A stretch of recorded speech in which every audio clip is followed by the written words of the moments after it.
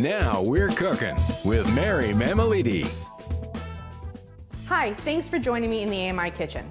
Today we're cooking something savory, one pot chicken and rice. This dish is versatile and delicious, from a salty pancetta to crispy chicken breasts to a broad range of spices. It's wonderful to share. First, the marinade.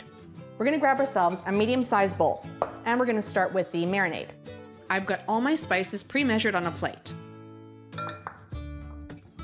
We have one teaspoon each of sea salt and garlic powder, one and a half teaspoons of paprika, a half of a teaspoon each of pepper, dried ground onion, cayenne pepper, and oregano, and a quarter of a teaspoon of red pepper flakes. Add the spices to the bowl and squeeze one teaspoon of fresh lemon juice. Drizzle enough olive oil over the spices to make it wet paste, and whisk it up.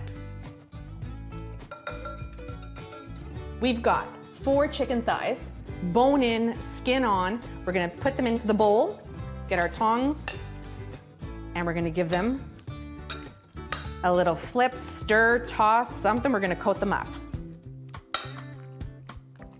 Our chicken is coated and now to heat a drizzle of olive oil in a Dutch oven over medium-high heat on the stove top. Add about a quarter of a cup of diced pancetta. Cook it until it's browned and then transfer it to a plate. Then add the chicken thighs to the pot, skin side down, and sear for two to three minutes per side to develop that nice crispy skin.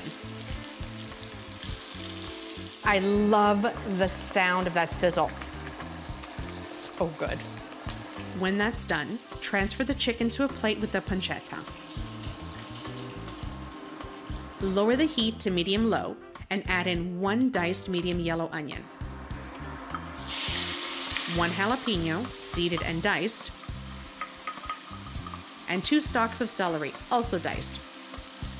Saute those for about two to three minutes until softened. Add in one tablespoon of tomato paste.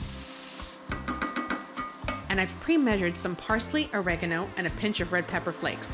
Give everything a quick stir. Add in one cup of long grain rice, one can of red kidney beans that have been drained and rinsed, and two and a quarter cups of chicken stock. Give it a stir and let it simmer. This has come to a boil. We're gonna turn this off and we're gonna add in our pancetta. Now, once you've done that, you're gonna place your chicken thighs right on top and nestle that into the rice. Cover the pot and place it in a 350 degree Fahrenheit oven. After 35 minutes, remove the cover and bake for another 10 to 15 minutes. There it is. Time to get the pot out of the oven. This is my favorite part of the meal.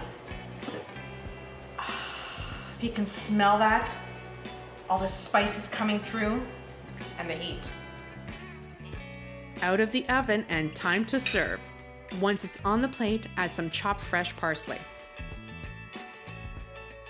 Now it's time to taste. Let's taste the chicken first. It's tender. It's got all those warm flavors from the seasoning, from that marinade that we did beforehand. And now for the rice and the beans. Mm.